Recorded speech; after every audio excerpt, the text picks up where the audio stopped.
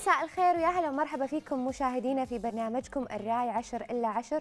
مستمرين معاكم لمدة ساعة كاملة. راح نتكلم فيها عن مواضيع تهم الشارع الكويتي. ومساء الخير أخوي راشد. مساء الخير ريم. بسم الله الرحمن الرحيم. مساء الخير والمحبة. وحياكم الله. أحبابنا وين ما كنتوا تتابعونا داخل الكويت وبرا الكويت. ومساء جميل يجمعنا معاكم دوم على الخير والمحبة. ومع ضيوفنا اللي راح ينورونا الليلة ببرنامج الراي 10 إلى 10 ننطلق معاكم عبر شاشة الجميع على الهواء مباشرة. تلفزيون الرأي. اليوم حلقتنا آه، أكيد يعني الكل سمع وتابع وتفاعل مع هذا الخبر وهو مشروع دراسة حكومية. مشروع إلى الآن ما صار شيء. مشروع دراسة حكومية وهو عن موضوع صرف راتب للكويتية المتزوجة إنها آه، يعني من باب من منطلق تقوية الروابط الأسرية وتقليل نسبة الطلاق. فكرت الحكومة بان تعطي الكويتية المتزوجة واختياري الموضوع ها. راتب وتقعدين ببيتك جميل يعني ما ندري الموضوع هذا شنو إيجابياته يعني قيد شنو. سلبياته شنو. انعكاساته كل هذه الأمور مع ضيفتنا إن شاء الله الدكتورة ندى المطوع وهي عضو مجلس الأمناء بكلية الكويت للعلوم والتكنولوجيا صحيح بنتناقش اليوم في هذا الموضوع هو موضوع ساخن يهم شريحة كثيرة من حتى حتى الشباب اللي متزوج زوجته أكيد يهمه أن هي يصير عندها دبل راتب أنا أتوقع 70% راح يقعدون. يقعدون إيه، صح؟ يحبون قعدة البيت فراح يصير الموضوع مادي وهو مو مادي انت انت خيرتني. تعطيني نفس الراتب وقاعده بالبيت لا دوام لا بصمة لا بس إنه لا زحمة. لو قلت نسبة الطلاق هل يعقل إنه يعني آه، ال- العلاقات أصبحت مادية؟ مو العلاقات مادية لكن أنا ما أتوقع إن الموضوع مرتبط بالطلاق. ما أعتقد إنه حل. يعني. أنت تقل نسبة الطلاق تقعد بالبيت؟ ما أدري اليوم ما- ما مع. الموضوع مع. ضيفتنا وعندنا موضوع ثاني أيضا يهم كل المواطنين والوافدين وهي أزمة ارتفاع تكلفة استخدام العمالة المنزلية أكيد مع ضيفتنا آه، مع ضيفنا علي شمو آه، أمين سر الاتحاد الكويتي لمكاتب العمالة المنزلية.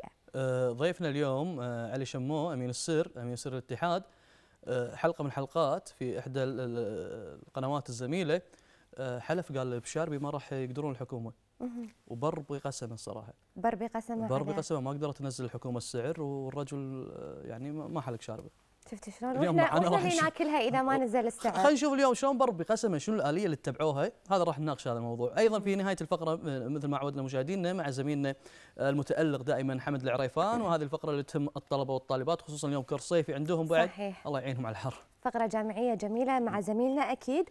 وعندنا خبر عن محتالين يوهمون متابعين تلفزيون الرأي بربح جوائز مالية.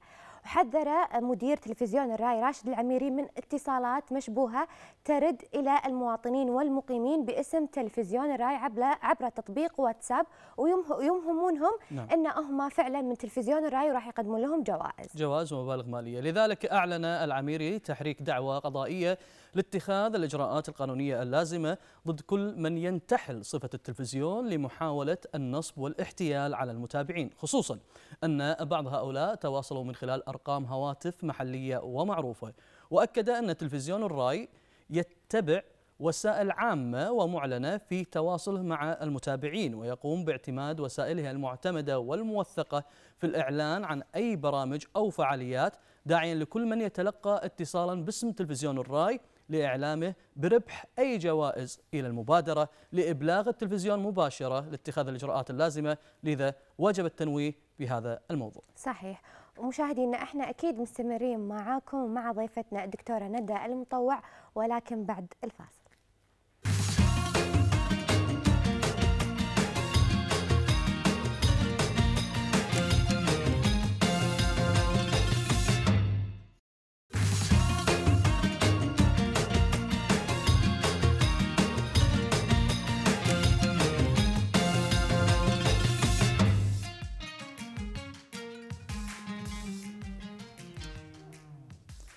صرف راتب للكويتية المتزوجة لتقوية الروابط الأسرية ومحاولة من الحكومة بوجهة نظرها أنها راح تقضي على ارتفاع نسبة الطلاق. وهذا الأمر هو أو هذا المشروع هو اختياري وليس إجباري. إن طبق يعني المرأة لها حق الاختيار. تبين تقعدين البيت تجيبون نفس الراتب لك هذا الحق. تبين تداومين لك نفس الراتب لك هذا الحق. لذلك راح نناقش هذا الموضوع بجوانبه المختلفة وشنو انعكاساته الإيجابية والسلبية.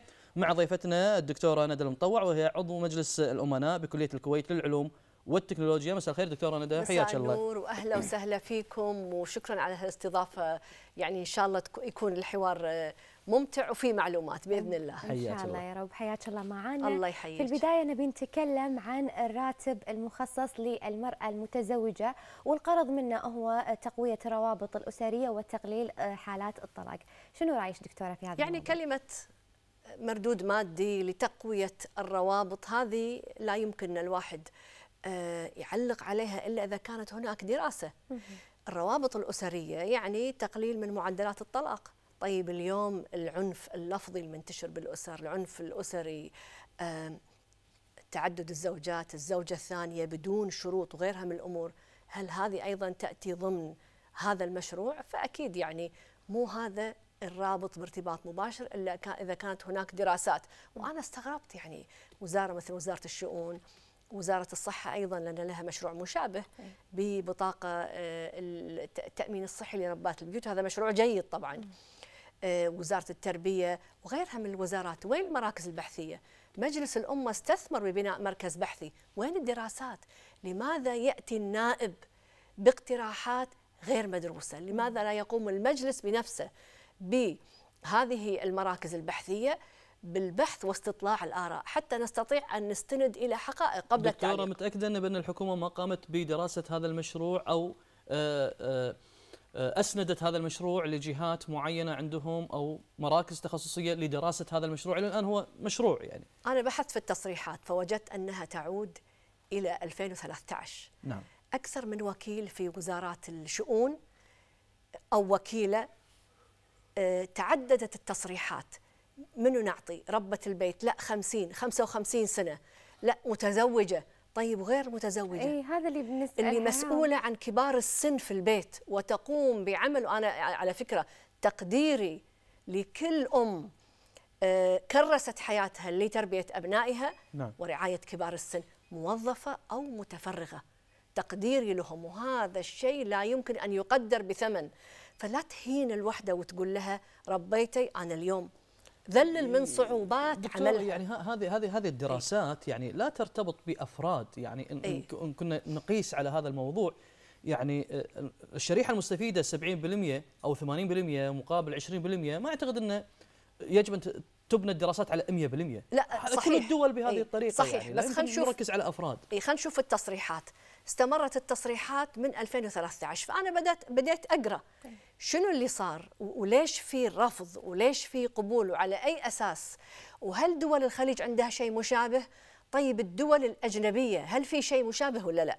فوجدت أن الجمعية الثقافية النسائية هذه طبعا كهيئة نفع عام والجمعية الثقافية عندها دراسات وتستطلع الآراء يمكن بيوم واحد تسأل يكفي أنها تسأل الأعضاء.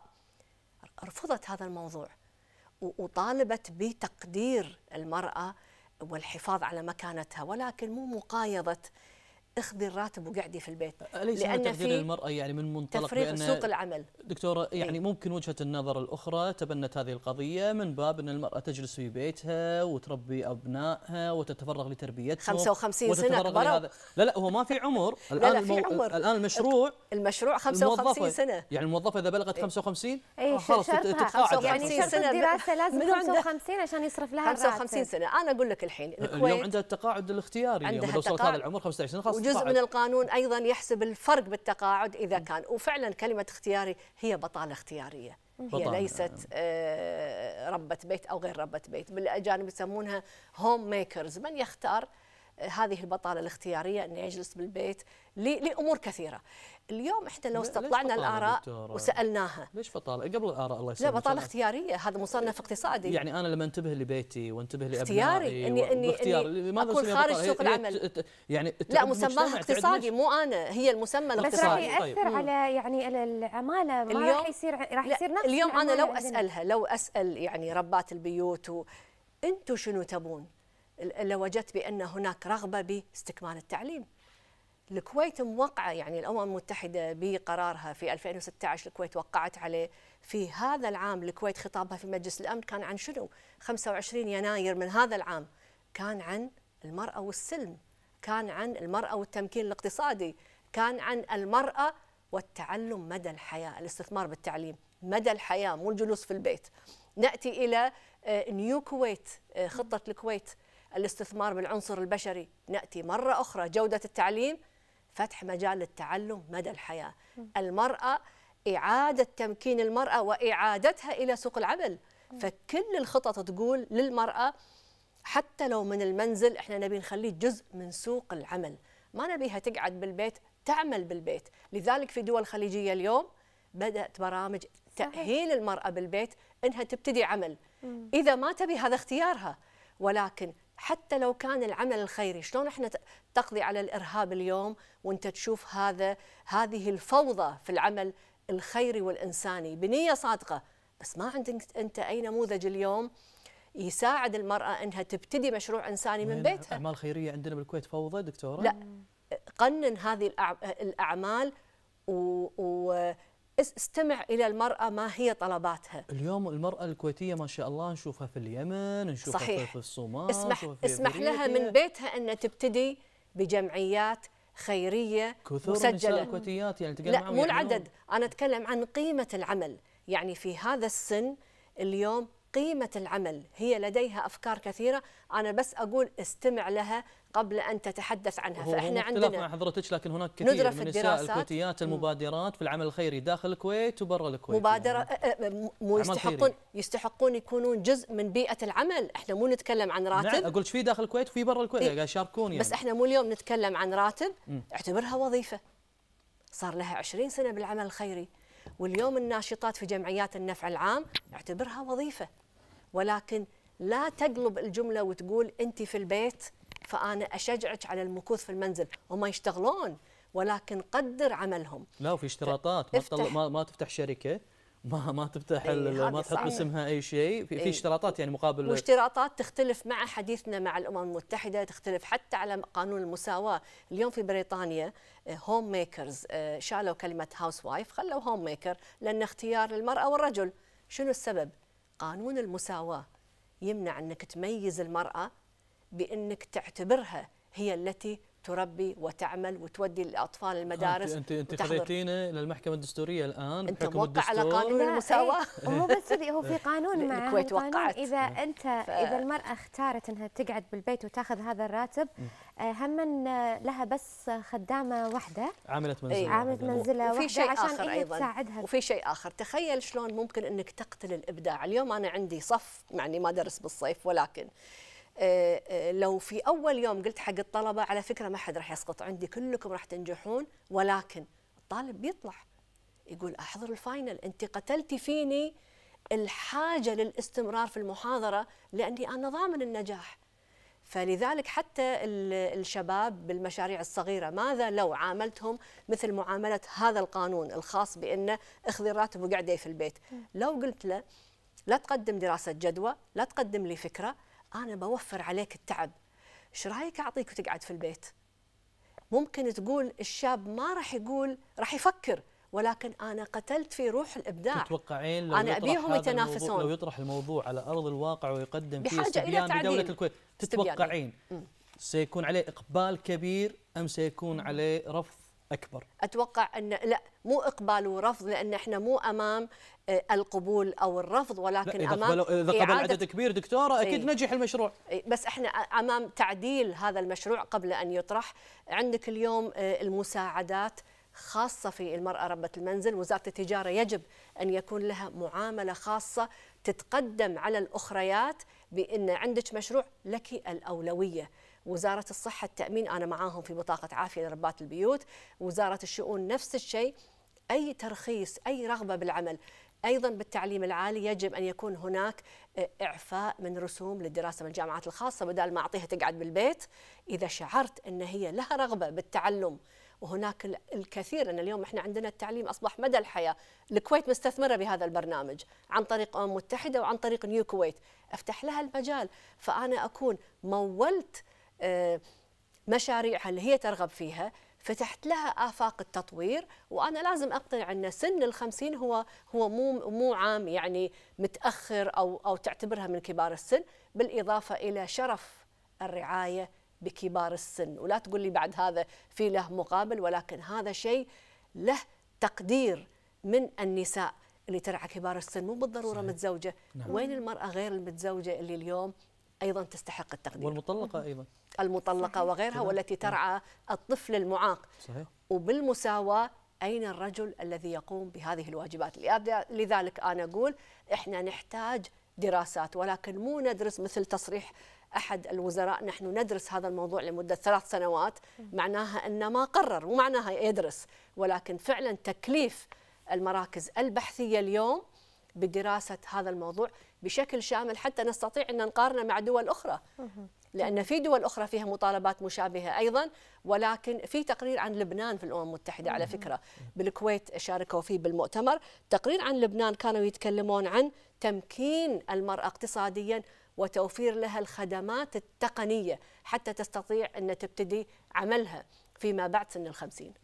جميل. يعني دكتورة إذا طبق هذا المشروع على أرض الواقع ما راح يصير آه، هناك تكس تكسد بالمرأة أنها ما راح تشتغل وراح تقعد بالبيت. راح يكون في قتل يصير الشيء هم خايفين إيه. منه أن العوا... العمالة الوافدة لما تدخل الكويت هم يبون يقللون من العمالة الوافدة ويشغلون السوق الكويتي والمرأة الكويتية. بهذا المشروع راح المرأة الكويتية تقعد بالبيت وما راح آه، تنحل المشكلة وراح تزيد عندنا العمالة الوافدة. بعض- راح يصير إيه. بدال المشكلة مشكلتين. يعني أنا بالنسبة حق الحديث عن العوام عن العماله الوافدة أنا بالنسبة لي معيار القيمة النوعية للعمل. من يستطيع أن يقوم بهذا العمل بمهارة أكبر. لأن بالنهاية نبي نطور الدولة. لذلك استثمار الدولة بالتعليم والكويت من الدول القليلة على فكرة أنا قاعدة أراجع القائمة الأمم المتحدة في هذا المشروع. لقيت أن التعليم غير إلزامي في دول كثيرة. التعليم خاص في دول كثيرة. ما زلنا بالكويت متمسكين بالتعليم العام إلزامي. والتعليم الإلزامي نعم. فإحنا ما نتكلم عن مرأة جاهلة صحيح. نتكلم عن قيمة نوعية عالية بالمجتمع حتى محو الأمية عندنا ما شاء الله صحيح يعني محو, محو الأمية لما بدأ بالستينات نعم. ووايد زال. النساء يتذكرون كانوا الخريجات يدرسون الأمهات اللي بالصفوف وبشكل بدائي ولكن بحماس نعم. لإنقاذ هذا وما زال المجتمع مستمر يعني مستمر. في العطاء واللي يلتحقون في في يتعلمون. وللكويتيين وغير الكويتيين. صحيح. وأنا أذكر حتى المدارس الحكومية عندما افتتحت في ال- الفترة المسائية لغير الكويتيين على حساب الدولة بالسبعينات. طيب. فالتعليم متميز في الكويت الاستثمار في العنصر البشري عالي فما نبي نخسر في هذا العنصر البشري بهذا القانون. طيب دكتوره ندى ذكرت بأن أحد الوزراء صرح بهذا المشروع عدل؟ بمشروع آخر خاص بالتأمين الصحي لا مشروع ندرس. الكويتية اختياري إنها تجلس في البيت تأخذ راتبها تجلس بالبيت هذا تصريح من نائب وتصريح من وكلاء وزارات الشؤون طيب وكلاء يمثلون على مدى حكومة. سنوات. إي يمثلون حكومه وعضو السمو يمثل آه، يعني سلطة تشريعية ومنتخب من قبل الجمهور، هل ترين بأن هذا الموضوع بأنه هو لكسب الشارع الكويتي للنائب مثلا تعاطفه معه وكذلك الحكومة تعاطيها مع هذا الأمر لكسب ثقة المواطن بالحكومة وعودة المواطن إلى الثقة بالحكومة مرة أخرى، هي دغدغة مشاعر فقط وإلهاء الناس في قضية صعب إنها تصير. يعني أنا تعلمت إني ما أدخل بالنوايا. ظاهر لأن الأمر يعني وفي سوابق لأن النائب يعني أنا النائب كثير من القضايا اللي دغدغت مشاعر الجمهور. يعني إذا بتسألني أنا ليش قاعدة بالصيف بالكويت أنا بصراحة النائب اللي كنت أستمع له وهو يتحدث عن تذليل الصعوبات. نعم أمام الفيز. اليوم هو عنده جواز خاص ومسافر. أنا اللي قاعدة أنطر الفيزا. ما سوى شيء يعني؟ ما سوى شيء النائب لا أنا ما بخدمة شخصية. لا, لا للعامة. ما سوى شيء للعامة. أعطوا عن طريق لجنة الشؤون الخارجية جوازات خاصة. الله يهنيهم. وسافروا. وين المواطن اليوم؟ واقف ينطر. فيز. أوروبية قصيرة الأمد عليها expiry date يمكن ثلاث شهور نعم. يمكن لو شاري أكل حاطه في بيتك قاعد ست شهور صح، صحيح. فيعني فعلا في تصريحات يعني آه، تشتغل وزارة عبارة عن. عبارة عن لا النائب لا توعد إذا أنت منت قادر أنك تتقدم خطوة إلى الأمام ولكن ما أقدر أدخل بالنوايا فيما يخص المرأة وبعدين أنا لازم أقرأ دراسات ولازم أشوف فعلا لا، تبني الحكومة مثل هذه المشاريع يعني من غير. دراسات. شو تشوفين؟ أنتم مسؤولين وكلاء لازم تدرس لا؟ لازم تدرس الحكومة. يجب أن تكون ال ال القرارات مدروسة. ولكن أن آه، مسؤول حكومي على مدى ثلاث سنوات ندرس ونقرر ونفكر. إذا أنت تفكر أنا شو أسوي كمواطن؟ أنت قرر أنت سلطة تنفيذية. ولما تقررون إذا عندكم عدم الثقة بالقرار تحتاجون مزيد من الدراسات فتحوا المجال. حتى لو مجانية كل إنسان عنده أدوات تحليلية سليمة ممكن يساعدكم. جميل. على طاري هذا الموضوع آه، الحكومة أو المجلس إذا قررت أنها يعني تتم على هذا المشروع منو تستعين؟ منو الأشخاص المسؤولة آه، في دراسة هذا المشروع؟ منو أو التخصصات المسؤولة عشان مثلا تقرر هذا المشروع لازم يطبق على أرض الواقع. مركز البحوث في مجلس الأمة مركز البحوث في جامعة الكويت. آه، ممكن تشكيل لجنة عندها لجان المرأة اللي اللي يعني عضوياتها شملت أغلب نساء الكويت. جمعيات النسائية الجمعيه الثقافية النسائية التي تجري دراسة قبل كل مؤتمر وتفاجئنا بكل مؤتمر بإحصاءات وبيانات. طلبوا منهم كلهم لا تتحيزون لشخص ولكن خلوا القرار مدروس وسألوا كيف ممكن تطوير هذا القرار. اليوم واحدة من دول الخليج أقرت دورات خاصة للنساء فوق سن معين اللي اخترنا البطالة الاختيارية أو المكوث في المنزل. عرفوا أن هناك العديد من الحرائق لكن ما يعرفون يتعاملون معها. نعم. خلوا لهم دورة خاصة. عفوا بشكل راقي. يليق بالمرأة حتى تحمي نفسها وتحمي بيتها وبالمطبخ وخاصة مع العمالة غير المدربة. وهذه اللي فعلا قاعدة تقتل آه، أي جهد المرأة تتمنى ان ان إن يكون لها شرف تربية الأبناء أو العناية بكبار.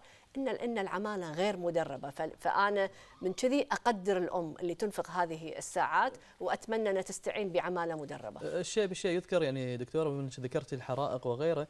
يعني الإدارة العامة للإطفاء مشكورة تقوم مراكزها بتقديم الدورات لأي شخص حاب أنه يزورها وحاب أنه يتعلم. دوراتها مستمرة على مدار العام لتعليم لتعليم كل الوافدين بشتى يعني بمختلف لهجاتهم ولغاتهم. أيضا عندهم آه، خدمات يقدمونها للمنازل والبيوت والمحافظات إن يزورون الناس ويعلمونهم بشكل دوري عملية الأطفاء وغيرها. ف يعني وقاموا يعني بجهد جبار إيه؟ في أيام المطر. صحيح. لكن ما زلت أنا أعتقد أن إحنا بحاجة إلى زيارة دورية منهم علشان يتأكدون أن طفايات الحريق بحالة جيدة. وأنا سألتهم آه، سمعت أن شركات خاصة تقوم بهذا الأمر. لازم الأطفاء ولازم يخالف المنزل اللي ما عنده ما عنده. القانون طفاي طفايات. القانون يمنع دكتورة. ولازم حتى اللي يعمل بالمنزل يكون من الوعي اللي يعرف يستعملها. قانونيا غير مسموح آه، حتى لو عن طريق المسج والفيديو آه، يرسلونها نتعلم إحنا. آه، كذلك المطفئات يعني مذكور عليها تاريخ الانتهاء وعليها إيه. أرقام الشركات الاتصال بس هو التذكير الوعي فقط يعني إحنا وعيناهم من خلال الحديث وأنا أقترح إنهم يرسلون شريط فيديو على الأقل الواحد يقعد يطالع هذا الفيديو بدل ما يشوف الإشاعات اللي تنتشر هالايام يشوف شيء يستفيد منه ومهارة يكتسبها. جميل. آه نرجع حق الدراسة، في ناس تسأل تقول آه يعني هل المرأة المتزوجة تحتاج فعلا إذا كانت هي موظفة وريلها موظف ودخلهم الشهري يعني ميسور، هل هي تحتاج لراتب إضافي عشان تكمل حياتها أم هناك فئات فعلا تستحق أن يكون عندها راتب إضافي آه مثل مثلا حالات عليها مثلا ديون أو حالات بالسجون أو حالات طلاق آه، في حالات كثيرة. ليش الحكومة ما درست هذه الحالات؟ آه، ما نقدر ناخذ حالة على حساب حالة أخرى. كل كل إنسان أو كل مواطن له حق إنه يحلم له الحق إنه يكون عنده هدف. أنا ما أقدر أختزل الفكرة وأقول له لا بس غيرك محتاج أكثر. أنت لا لا لا تحلم. أنت خليك في وظيفتك خل غيرك يتمنى. ما أقدر. كل إنسان له الحق ويحلم لأن إحنا دولة تأسست على مبادرين. أنا في مقالة كتبتها عن كويتيون في مومباي شارع محمد علي road. مبادرين من الكويت بالعشرينات وقبل طبعا 1807 و8 و9 هاجروا للهند للبحث عن عن الحياة هناك لتوفير السلع للكويت، البيع، الشراء، دخلوا عيالهم مدارس هندية في في الهند وأجنبية وعربية والكويت بنت مدرسة بالهند في هذيك الأيام وجابت مدرسين من مصر. صح. فقط للبناء على روح المبادرة، ما شفناها في ذلك العام تقول لهم قعدوا خل أعطيكم ليش تعب؟ ليش تعب روحك تروح الهند؟ ما شفنا هذا الفكر. ما كان في متعلمات في السابق ما كان موجود هذا التعليم. أفضل تعليم. النساء يعني ما كان في لا في أنا اقصد أنا أقصد شلون كانت الدولة تتبع روح المبادرة. ويزورهم الشيخ عبد الله سالم كنا في طور ويزورهم الشيخ أحمد اليابر ويقعد في بيت الصباحية وبيت نعم. الجابرية هناك ويستمتع بالحياة معاهم. فأنا قرأت البحث وسألتهم ما سمعت منهم أحد ينقل إن شخص مسؤول قال لهم إيش حق تعبير روحكم؟ خلوكم ابدا شجعوا روح حتى المبادرة. المسؤولين الكويتيين في تلك الفترة كانوا قلة يعني كتعداد سكان وكخبرة وكتعليم وك... 17 عائلة مينيمم اللي هاجرت للهند نعم. اللي أبنائها درسوا هناك وكملوا ب- ب- ببريطانيا متطورة ذاك صحيح. الوقت دكتورة إيه، يعني متطورة. فالمبادر عنده حلم كان يتبع ذلك الحلم وبمباركة طيب. من الدولة. اللي فتحت له مدرسة على حسابها. دكتور ندى الحديث جدا ممتع معك يعني وفي أفكار جدا جميلة وآراء. ختاما لماذا لا تستعين الحكومة المسؤولين في الجهات الحكومية؟ من يقومون بهذه التصريحات؟ نقرأ ونفكر ومن ثم نقرر وثلاث سنوات. لماذا لا يتم الاستعانة مجلس أمناء؟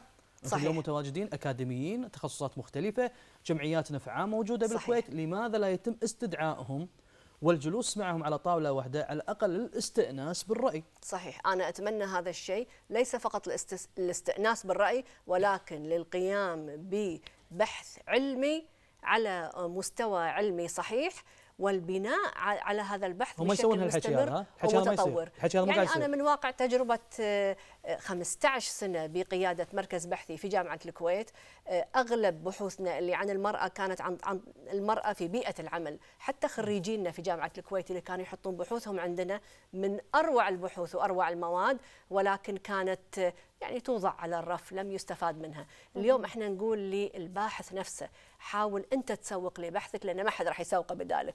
ولكن للدولة لمجلس الأمة أعيدوا إحياء المراكز البحثية أو استعينوا بالناس اللي عندهم قدرات على إجراء البحوث وعلى إجراء الدراسات المقارنة. مم، جميل. وشا في بحث بعد يعني هم قلت اتطرق له قبل ما نختم الفقرة اللي هي المعلمات كوادر المعلمة. يعني إن المعلمة قاعدة تتعب وما قاعدة تلقى البيئة المناسبة لها في إنها هي ترتاح وقاعدة تنتج والاعتماد الأول والرئيسي على هذه الطالبة على هذه المعلمة والطلبة معتمدين عليها. فهم لو في هناك كوادر ومكافآت لهذه المعلمة يعني هذا موضوع للدراسة حلو يعني إن إحنا نطرحه. ولو في أحد عندكم عنده هذا البحث مو مشكلة إنه هو يطرح هذا الموضوع. هو التعليم كله بح- بحاجة إلى آه، إعادة آه، النظر في هذه العملية ولكن آه، بشكل من زوايا متعددة ناحية التكنولوجيا والتعليم من ناحية التعليم المستمر ناحية إعادة النظر بالنماذج التعليمية القادمة الآن بجامعات. خاصة على فكرة تراخيص الجامعات الخاصة بعدد يعني أكثر من 25 جامعة من وين هذه الجامعات؟ ما هي النماذج الجديدة الآن؟ وكيف ست- تستطيع أن تؤثر في سوق العمل؟ هل هي فرص عمل للمرأة أم لا؟ أنا أعتقد بالعكس نظام ال part time التدريس وهذا اللي محتاجينه.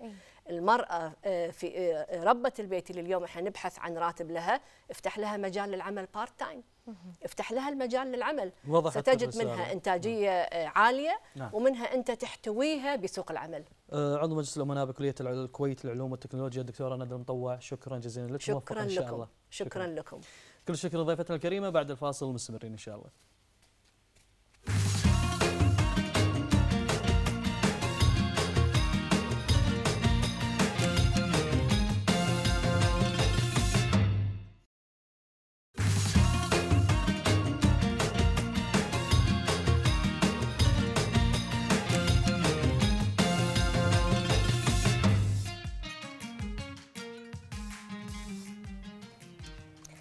رجعنا لكم مشاهدينا وفي هذه الفقرة راح نتكلم عن موضوع يشغل الشارع الكويتي سواء من المواطنين أو الوافدين وهو آه، ارتفاع تكلفة استخدام العمالة المنزلية. فبما أن ارتفاعها زاد آه، قل الطلب على هذه العمالة فقررت الحكومة بالتعاون مع المجلس بإنشاء شركة حكومية. فهل فشلت هذه الشراكة؟ وليش ما نزلت للحين أسعار الخدم؟ نطرح موضوعنا اليوم مع ضيفنا علي شمو أمين سر الاتحاد الكويتي لمكاتب العمالة المنزلية. يا مساء الخير ويا هلا ومرحبا فيك. مساكم الله بالخير. آه، بالبداية أشكر قناة آه، الرأي على الدعوة وأخص بالشكر طبعا القائمين على اللقاء. حياك الله وتلفزيون الرأي يرحب بحضرتك وبجميع ضيوفه بالتأكيد. الله وكروتك كثيرة وتصريحاتنا واسئلتنا كثيرة الأمانة في هذا الموضوع لكن عندنا تقرير بنشاهده ونرجع ننطلق معاك إن شاء إن الله شاء الله. نشوف تقرير ونرجع لكم.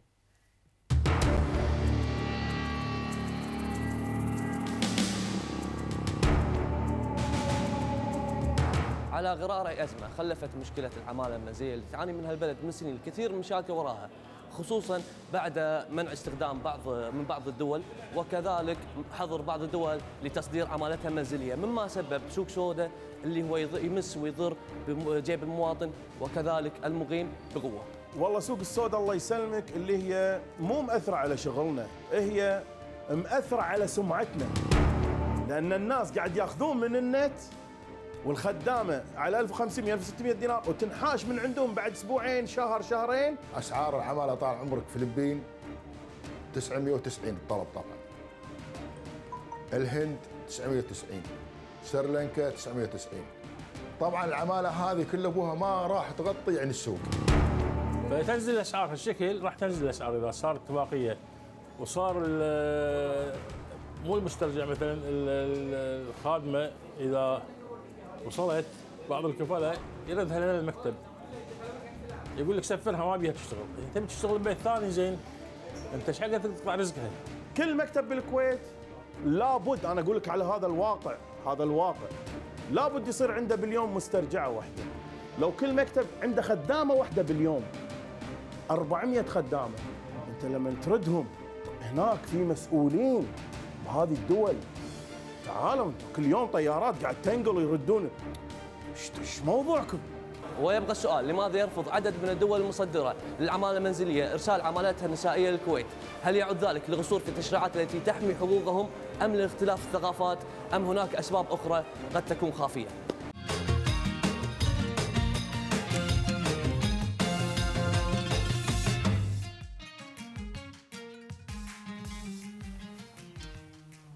رجعنا لكم مشاهدينا أكيد راح نستمر في حوارنا وهي الشراكة ما بين الحكومة والمجلس والهدف من هذه الشراكة هو تقليل أسعار تكلفة استخدام العمالة المنزلية.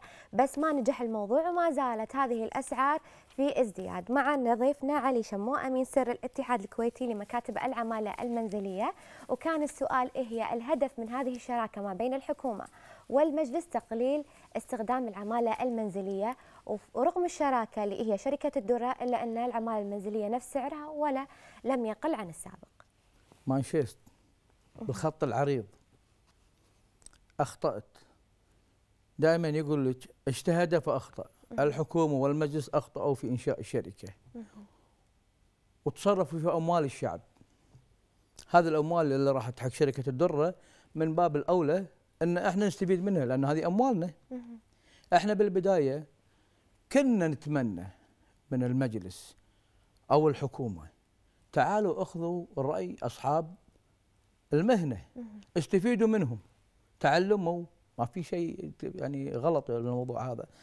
إحنا من البداية تكلمنا وقلنا إن الشركة ما راح تنجح وطلعنا بلقاءات وحاربونا وتكلموا علينا تحملنا ماكو مشكلة.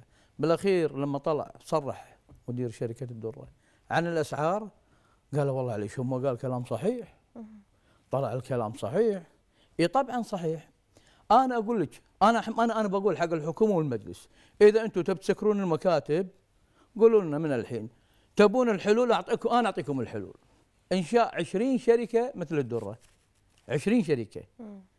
علشان تحصين الرقم اللي الحين قاعد نوفره حق المواطنين اللي هو 7500 عاملة شهريا.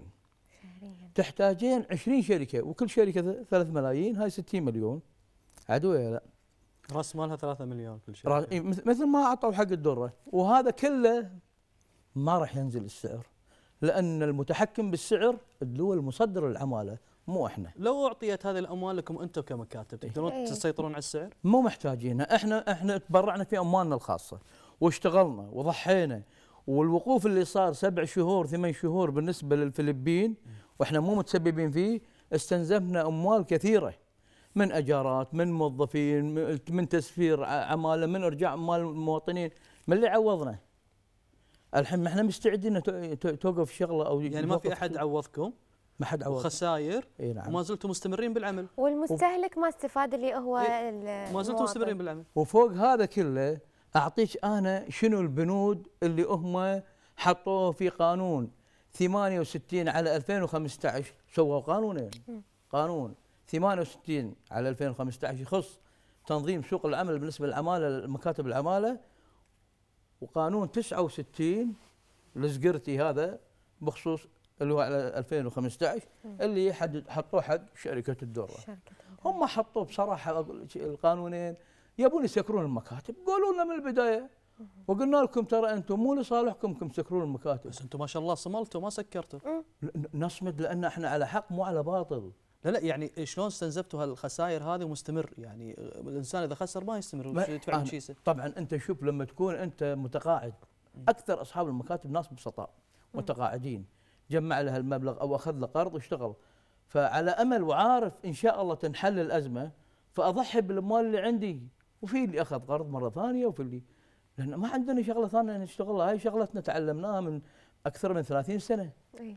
أنت الحين جيت بتحرمني من وين وين وين أروح أنا؟ متقاعد. أنا أتحمل. أقول لعل وعسى والحمد لله عدت اللي هي مشكلة الفلبين وفتحت. ردينا ووقفنا على حيلنا. تتوقع. الحكومة راح تعاود هذه المشكلة مرة راح ثانية؟ تعاود. راح تعود وخلال فترة قريبة أنا أقول لك إياها أبشر خلال. إذا الحكومة ما تفتح دول جديدة وما توقع اتفاقيات ومذكرات تفاهم مثل ما هاي الدول تبي. أنت ما عندك إلا الفلبين ومهدد بأي لحظة بأي مشكلة. راح توقف مرة ثانية وإذا وقفت والله أنا ماني مستعد. أنا واحد من الناس ماني مستعد إني أخسر اللي عندي بعد. سكر المكتب وخذ تأميني وانتهى الموضوع. إحنا اللي قاعد يصير الحين تونا إحنا جايين من إثيوبيا. وصلنا هناك قعدنا اجتمعنا مع الاتحاد. قالوا يبا إحنا قدمنا الأوراق والسفارة منتظرين رد من السفارة. رحنا السفارة. سفارة الكويت. سفارة الكويت نعم. إيه، إيش قالوا؟ قالوا هم طالبين مذكرة تفاهم نفس اللي وقعتها الحكومة الكويتية مع الفلبين. طيب وقعوا. شو المشكلة؟ لأن أنا لما جيت اجتمعت بالخارجية مع السيد آه، مساعد الوزير سامي الحمد قلت له أنتم والله زين وقعتوا؟ قال علي إحنا ما أعطينا شيء. اللي أعطيناهم هو من من خلال القانون المشرع اللي هو من مجلس الأمة اللي هو 68 على 2015 بس في بند اللي وقعوه مع الفلبين في تشغيل. إيه شنو موضوع التشغيل؟ هذا من من يشرح له أستاذ؟ أنا أقول لك شنو التشغيل. التشغيل معناته العاملة لما تجي حق علي شمه ما تبي علي شمه مو مرتاحة عنده. تقدر تنتقل إلى كفيل آخر. خلينا نقول مو العامله خلينا نقول مثلا أنت جبتي العامله أنت ما تنا ما, ما تجانست وياها أو مثل مو شايفة مو فاهمين إنك على بعض مو لا تقول نفس. اللي يصير معي في هالحاله شنو أسوي؟ آه شو تتصرفين؟ ما أدري ضايعة أنا شو أقول لك أتصرف؟ المفروض إنك أنت في الحالة هذه إذا أنت ما تبينها إيه. تسفرينها وتدفعي لها رواتب سنتين هذا القانون اللي سووه مجلس الامه من خلال اللي هو قانون 68 لأنه زين توني يجرم جايبتها والفلوس اللي قطيتها تروح؟ تروح إيه. زين ما يصير مثل فشو تسوين؟ أو شو يسوي المواطن؟ إيه. أنا إيش حقي أخسر فلوسي؟ بلغ تغيب أضغط عليها أو بلغ تغيب إيه أو تغيب أو أضغط عليها تعال يا مكتب علي شمو ولا غير المكاتب ادفع زين ادفع واحدة وثنتين أساسا أنت إذا شاي أنت أنا لما جيت أول ما فتحت المكتب الرخصة مكتوب فيها استخدام وتشغيل هذا استخدام وتشغيل عملية فيها إنصاف للجميع. إذا الكفيلة ما تبي العاملة إذا العاملة ما تبي آه نحل كمكتب آه طرف اللي هو يحل الموضوع. طيب أستاذ علي أنتم ليش ما تضعون بالكفالة إذا أنتم واثقين من عمالتكم واللي أنتم تستقطبونها وتخضع إلى دورات؟ أنا أعرف دورات تعريفية بهذا البلد اللي هي راح تزوره وطبيعة وعادات وتقاليد الناس اللي راح تعمل عندهم. ليش ما تضعون الكفالة مع الإقامة؟ سنتين. لماذا الكفالة ثلاث شهور؟ وهناك من يعني يقول بأن هناك اتفاقيات مبطنة من- بعض المكاتب مع هذه العمليات يبغى أشتغلي ثلاث شهور لين تنتهي الكفالة بعدين سوي اللي تبين تسوينه. شوف هذا الكلام اتهام لكم يعني. هذا الكلام خالي من الصحة. لأن أول شيء أنا بقول لك الحين الحكومة حطت لنا مثل الشوكة هني. ست شهور كفالة. للعلم الكفالة العالمية الدولية بالنسبة للعمالة الدول تصدر العمالة لنا ثلاث شهور ماكو شيء اسمه ست شهور الدولة تكفلك ثلاث نعم. شهور نعم أنت تقول لي عطي سنتين زين أنا لما أعطيك سنتين بعد بعد ال بعد ال ال ال ال الخمس ست شهور تجيني ترد ال- ال- الخادمة إذا إذا وافقوا طبعا على ما راح. تقعد تدري ان في طلب بالكويت أنت تقدر راح تردها وتتعاون ممنوع. ممنوع قانون 68 يقول لك ممنوع تستلم العاملة أنت يا مكتب ها. إذا استلمت أنا أخالفك وأسكر مكتبك وين وين وديها؟ ها وين تروح انت؟ سفرها إذا ما تبيها أو اضغط عليها عشان تقول أنا رافضة العمل وتوديها إدارة. القوى العاملة مم. يسالونها سؤالين مع الأسف الشديد الحين إدارة القوى العاملة مع احترامي لهم أنا أتكلم كلام اللي قاعد واقع إيه قاعد يحصل معاكم الحين الحين شنو صار الحين شنو صار. صار شوف القوى العاملة إيش تسوي؟ شوف. آه القوى العاملة الحين لما يجي الكفيل يودي العاملة المحقق يسألها you want to work or you don't like تبي تشتغلين ولا لا؟ إيه. أنت يعني معطيها كأنك أنت فارش له بساط من ذهب هي لا ما أبي أشتغل بسافر فرصة والله حلوة هذه إيه. آه okay رافضه العمل ودوها دار الإيواء يا مكتب علي شمه تعال ادفع عمره ما صار الشيء هذا شنو المفروض أنت يصير؟ محقق شنو المفروض يصير؟ وأنت قاضي وأنت جلاد شنو المفروض؟ يصير؟ في إجراءات قانونية لابد حضور جميع الأطراف ولابد ما يكون في حضور موظف عن السفارة اللي العامله جاية من من من من بلده. يقعدون يشوفون الموضوع ويبحثون وضع الوضع ليش رافضه؟ حاجيتوا الداخلية بالموضوع هذا المسؤولين؟ رفعتوا الداخلية انتهى موضوعها الحين آه، عفوا القوى العاملة. إي القو... إحنا كنا أنا واحد الناس كنت اطالب بقوة ان تنتقل إدارة الأعمال المنزلية من وزارة الداخلية إلى وزارة العمل لأن هي جهة الاختصاص. عشان أي وفد يجي هني يبي يناقش موضوع عمل مو مثل الأول يقول لك والله إحنا ما عندنا قا- آه، آه، صلاحية نروح حق وزارة الداخلية لأن الأعمال المنزلية تابع حق وزارة الداخلية. يروحون هناك وزارة الداخلية يقول لك ما عندي قانون عمل أنا. صح إني أنا مسؤول بس أنا قلنا إن انتقلت إلى إدارة صحيحة. لكن ال- ال- التصرفات اللي قاعد تصير هذه أنا أتوقع إنها تكون فردية هذه. ولا يمكن نقبل عليها ولا يمكن نقبل عليها. وراح نلجأ للقضاه وللمحاكم. شلون أنت تتصرف كذي؟ حتى القانون اللي أنا أتكلم عنه اللي هو 68 على 2015 بما يشوبه من بنود سيئة عطى بند من البنود في حال عدم التوا... ال- ال- يعني الاتفاق بين الأطراف يلجؤون إلى محاكم الكويت. لكن اللي صار هذا كله ما هم الحين هم شوف هم مشكلتهم إدارة القوى العاملة أه ودهم يخدمون. وتكلم أحد المسؤولين في إدارة القوى العاملة. قال أنا قاعد يعني تواجهني مشكلة كبيرة الحين أنا الحين مادة 18 إذا ما أبغى الكفيل احوله على كفيل آخر لكن مادة 20 بموجب الم- 68 على قانون 68 المشرع يمنع التحويل طيب شلون أتصرف أنا؟ اي أقل فانا إيش حقي أخلي الكفيل يخسر؟ لا المكتب خسر. المكتب قاعد على بنك وبعدين تعال أنت لما واحد خدامه وثنتين وتوديه تحولها دار الإيواء وتسفرها تعتقد دولها راح تسكت؟ لا ما راح تسكت. راح توقف عنا الطلبات. وراح تطالب بحقوقها. وراح طبعا. فأنتوا ش- أنتوا وين تبي توصلونا؟ إحنا ما عندنا غير دولة واحدة الحين. دولة واحدة الفلبين. اي يعني الحين بند التشغيل يخلينا تحت خطر التهديد إن بيوقفون عنا آه، العمالة الفلبينية ونفس ما قلت لي إحنا عندنا دولة واحدة قاعد يعني نعتمد عليها في تقديم العمالة تبين أجاوبك؟ إي. أنا أقول لك وجه الكلام حق أعضاء مجلس الأمة السابق لما جيتوا سويتوا قانونين قانون 68 على 2015 وقانون 69 ليش أعطيتوا شركة الدره التشغيل؟ إذا هي مي ضرورية ليش اعطيتوها التشغيل؟ وليش حرمتونا إحنا من التشغيل؟ يعني الحين شركة الدره عندهم التشغيل نظام التشغيل نعم. والمكاتب العادية ما تستخدم حرام نظام عليهم. التشغيل؟ حرام عليهم إي نعم.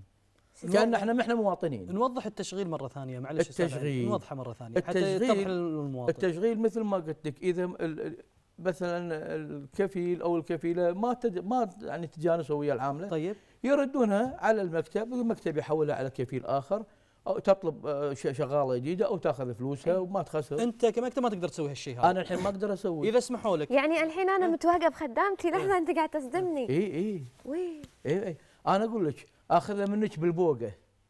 مثل قبل. إيه. ردينا الناس تتقدم ها إحنا لا نرجع لورا. طيب لو أعطاكم التشغيل راح تحل المشكلة؟ التشغيل يحل يحل جزء من المشكلة مو المشكلة.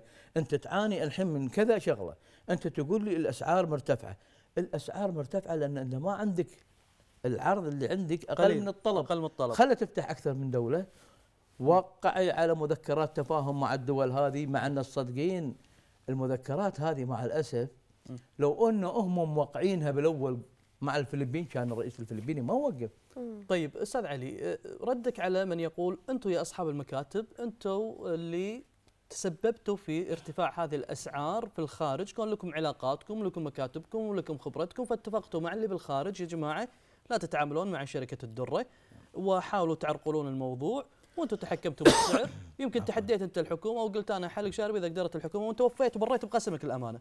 يعني تحديت الحكومة بقوتها بسلطانها بهيلمانها تحديتهم. أقسم بالله إن أنا ما تحديت واحترامي للحكومة وللشعب كله وللشارع العام. أنا أشوف اللي صار مع احترامي حق مقدم البرنامج كان حديث بيني وبينه برا اللقاء. إيه. كنت أقول له أحفظ ماء وجهك ولا تحرج نفسك ولا تحرج موقفك ولكن هو أصر على إنه يذكر الكلام هذا باللقاء. أنا قلت هي تبريولك أنت. تبي حاضر ولا يهمك.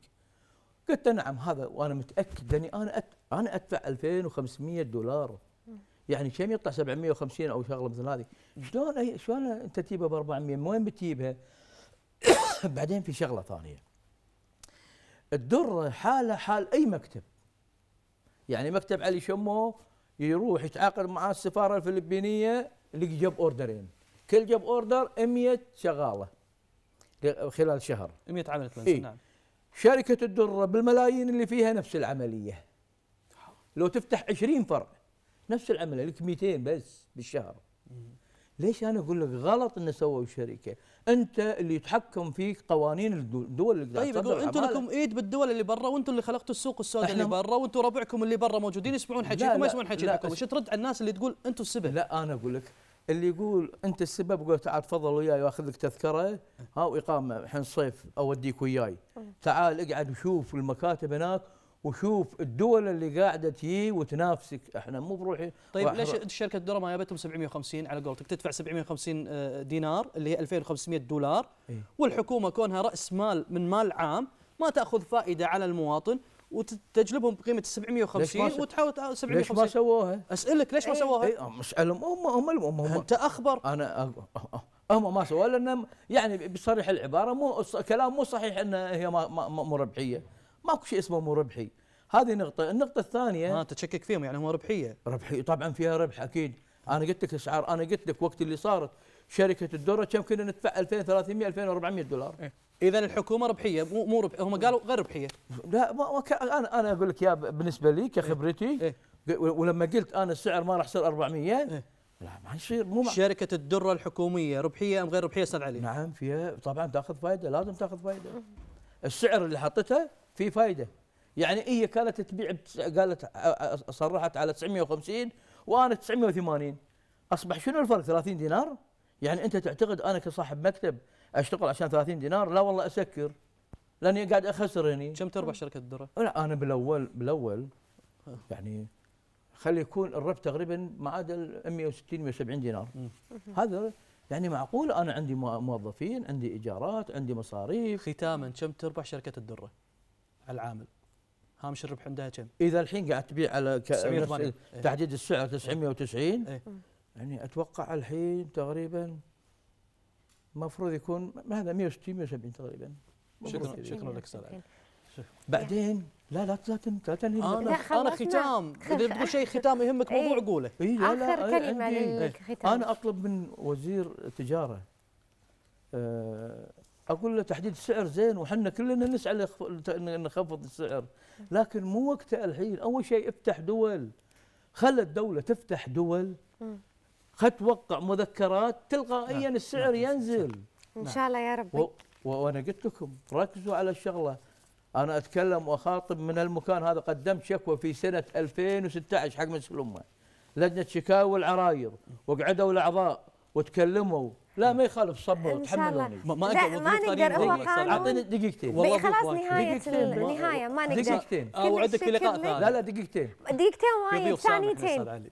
إي والله في وقت ضيوف ثانيين جالسين من اليوم ينتظرون معنا على الهواء. ما المهم- نقدر نتاخر عليهم أنا اسف أستاذ علي المهم أقدم أقدم شكر لأثنين من أعضاء مجلس الامه السيد عدنان عبد الصمد والسيد أسامة الشاهين ما وصل. قصروا ورايتهم بيضة. وصل. وانت ما قصرت راح تطلع معنا مرة ثانية بشكل أطول. أستاذ علي كل شمو. الشكر لك. نعم تفضل. علي شمو أمين سر الاتحاد الكويتي لمكاتب العمالة المنزلية. وإن شاء الله نستضيفك في لقاء ثاني. مشاهدينا إحنا انتهت فقرتنا أنا ويا زميلي راشد. نعم. مع زميلي حمد العريفان فقرة الجامعة. نشوفكم باكر إلى اللقاء.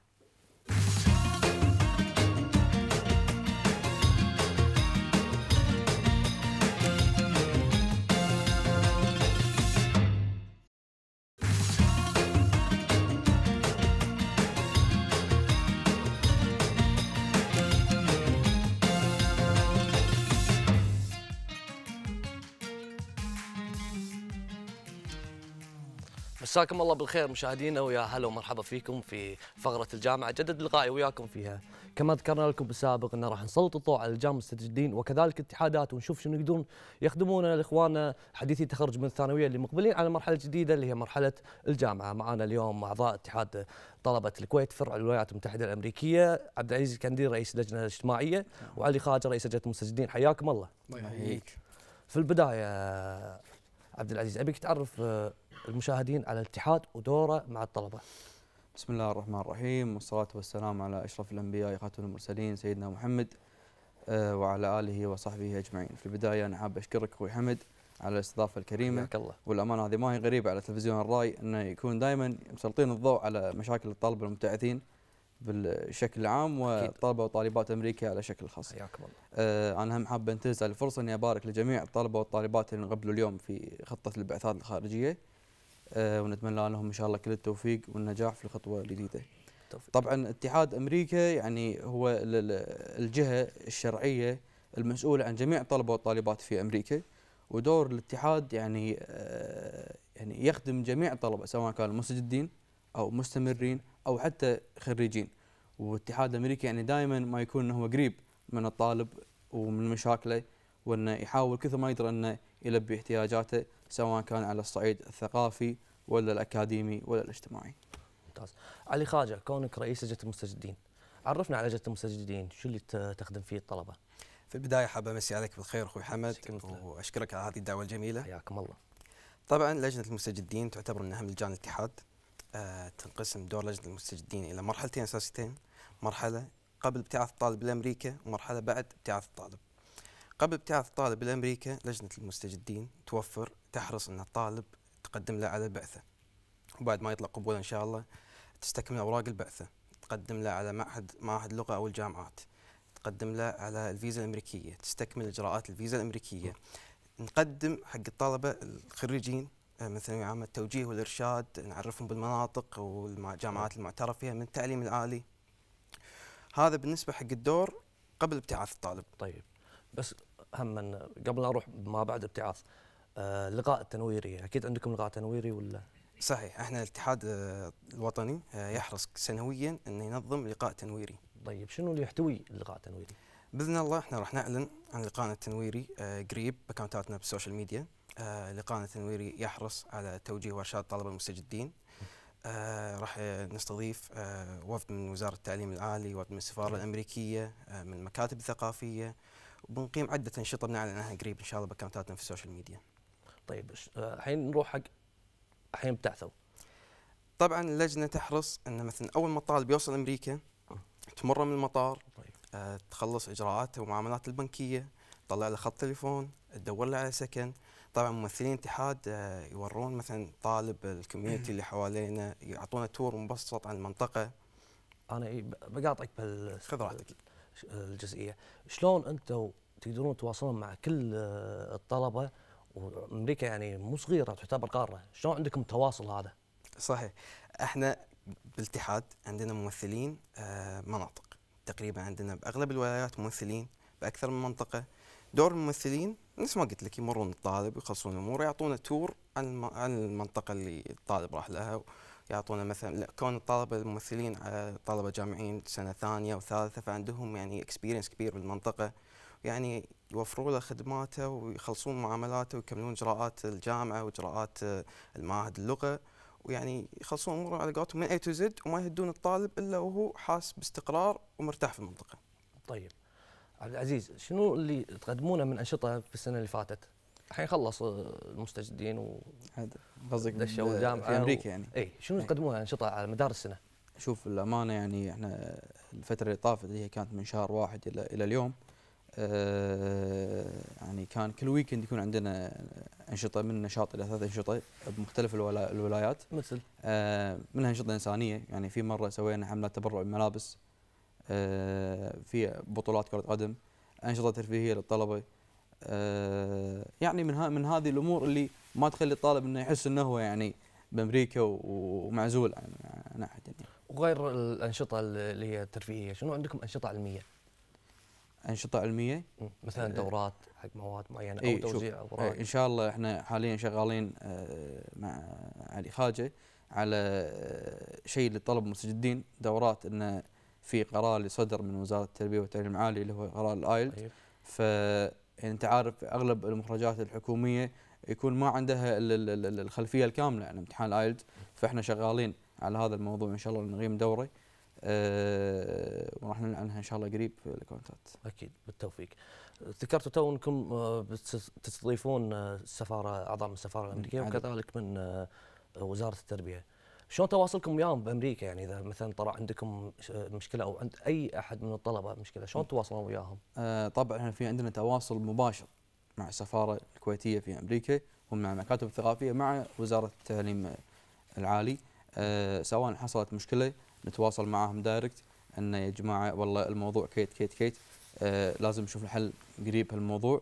والامانه يعني المكاتب الثقافية متعاونين معانا يعني تعاون آه، كبير وسفير. يعني الشيخ سالم الصباح يحرص إن يعني الأعضاء السفارة والمكاتب الثقافية انه يعني يلبون كافة الاحتياجات. أساس إن الطالب يعني هو مو بديرته يعني هو بعيد عن ديرته فلازم إنه يحس إنه مرتاح. آه أيضا آه حاب أوجه يعني تحية لمعالي وزير التربية وزير التعليم العالي الدكتور حمد العازمي. ووكيل وزارة التعليم العالي الدكتور صبيح المخيزيم على يعني آه، حرصهم الدايم ومتابعتهم المستمرة على أي مشكلة تصير ونكلمهم فيها آه لين تنحل المشكلة. على طاري المشاكل كان لك اليوم تصريح في اكونتكم مع ال- الاتحاد إن أنتم بابديت مع مشكلة آه، المخصصات المالية. لا هي هي اشرحها لنا. هي هي مو مشكلة. هو إحنا مطلب آه، قاعد نطالب فيه إنه آه، يزيد فيها ال- ال- المخصصات المالية. آه، الأمانة إحنا شغالين على موضوع المخصصات المالية من أول ما استلمنا الاتحاد. آه، كان في لقاء آه، في شهر ثلاثة التقى امين سر الهيئه الاداريه علي الغانم طيب. مع معالي آه، وزير التربية. آه، وقدم له ال- ال- ال- الخمس دراسات وبعدها قدمناها للمكاتب الثقافية واللجنه التعليمية في مجلس الأمة مشكورة إنها تابعت الموضوع آه، آه، بشكل مباشر آه، وإن شاء الله هو يعني الموضوع ماشي في المسار الصحيح ونتمنى يعني. من الجهات المسؤولة إنه يعني تنظر حق هذا الموضوع وإنه إن شاء الله يكون في يعني على قولتهم باشرة خير إن شاء الله بإذن يعني. الله إن شاء الله كلمة أخيرة توجهها للمشاهدين آه أنا بس حاب يعني آه أذكر الإخوان اللي توهم من قبله في البعثات الخارجية في أمريكا إن مكتب الاتحاد يعني شغال طول الأسبوع من يوم الأحد إلى يوم الخميس في آه شرق برج مبارك الكبير الدور التاسع.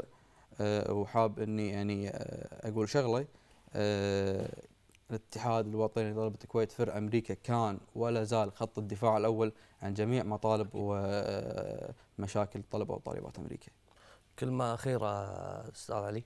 في الختام حاب أبارك جميع المقبولين في خطة البعثات وحاب أنوه أن الاتحاد مو بس للطلبه المستجدين يخدم الطلبه المستجدين في أمور البعثات تقديم الجامعات يخدم الطلبه المستمرين اللي عندهم مثلا يواجهون مشاكل اجتماعية أو مشاكل أكاديمية في جامعتهم يخدم الطلبة الخريجين عن طريق توفير فرص وظيفية في الولايات المتحدة أو خارج الولايات المتحدة. وحاب أنوه وأدعو جميع الطلبة أن يزورون مقرنا الكائن في برج مبارك كبير.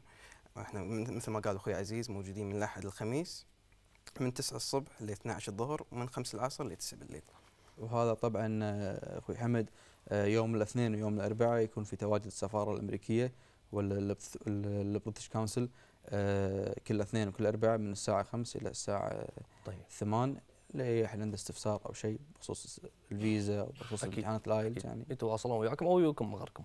آه علي خاجه عبد العزيز الكندري أعضاء اتحاد طلبة الكويت فرع الولايات المتحدة الأمريكية مشكورين على حضوركم وتوضيحكم خدماتكم للطلبة وأتمنى لكم كل توفيق إن شاء الله. الله مشاهدينا وصلنا لنهاية فقرتي كذلك نهاية الحلقة على أمل نلتقي وياكم إن شاء الله في مواضيع مختلفة أنا وزملائي نراكم على خير.